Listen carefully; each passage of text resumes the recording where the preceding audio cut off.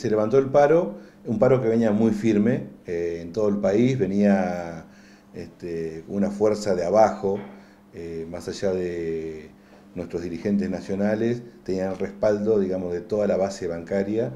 En Bahía Blanca venía muy firme, habíamos hecho un pleno de delegados muy importante acá y hoy teníamos previsto una marcha contundente para apoyar esta medida.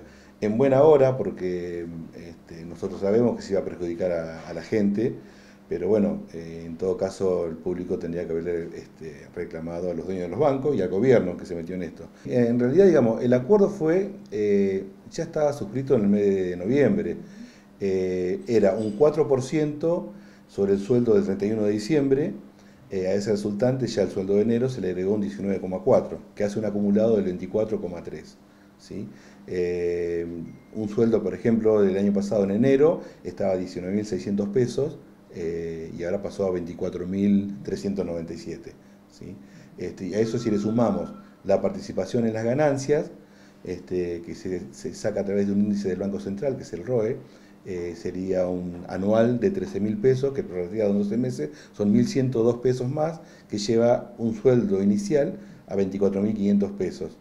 Y a eso le tenemos que sumar este, el día del bancario, que se logró una suma que va desde los sueldos más bajos de 21.600 pesos a 39.000 pesos. Eso se abona el día del bancario del 6 de noviembre, que inclusive es un día no laborable para los bancarios.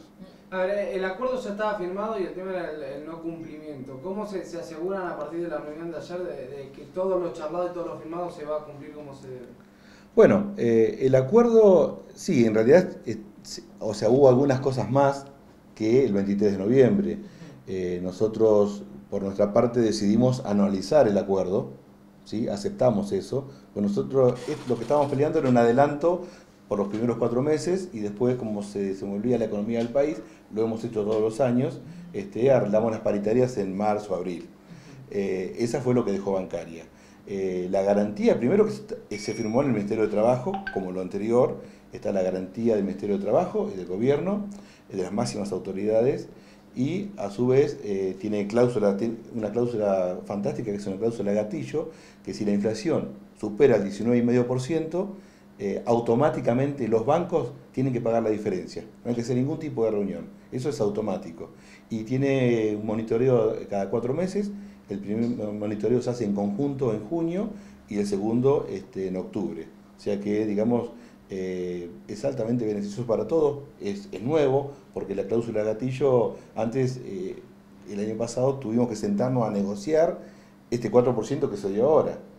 Y en realidad, digamos, ahora va a ser automático. Los bancos tienen la obligación de pagarlo de forma inmediata, ni bien el INDEC este, anuncie si la inflación supera el 19,5%.